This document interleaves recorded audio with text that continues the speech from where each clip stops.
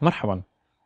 يتم عن طريق الوحدات التدريسية أو التعليمية نقل وتعميق المعرفة والخبرات الفنية التخصصية اللازمة. ويقوم الأساتذة بإعطاء الوحدات التدريسية أو التعليمية للطلبة. ولكن تختلف هنا الطريقة.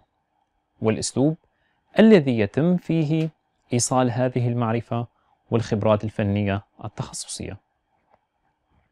هناك ثلاثة أنواع رئيسية من الوحدات التدريسية أو التعليمية.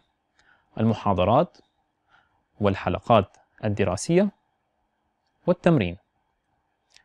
المحاضرات هي الأساس في عملية إلقاء المادة العلمية حيث أنها تعطي لمحة عامة عن موضوع ما ويحضرها مئات الطلاب في وقت واحد.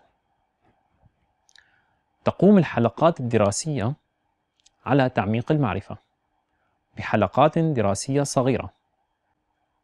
تتم قراءة نصوص تمرينية يجب على الطالب تحضير وإعداد الواجبات والمذاكرة المنزلية.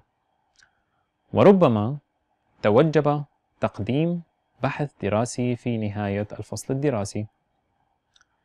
صممت التمرينات أكثر لتخدم الجانب العملي وتهدف بالفعل إلى استخدام المعرفة المكتسبة.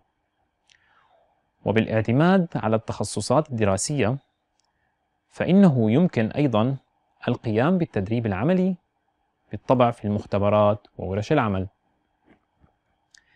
يتم الجمع ما بين المحاضرات والحلقات التدريسية أو الدراسية والتمرينات حسب التخصصات الدراسية.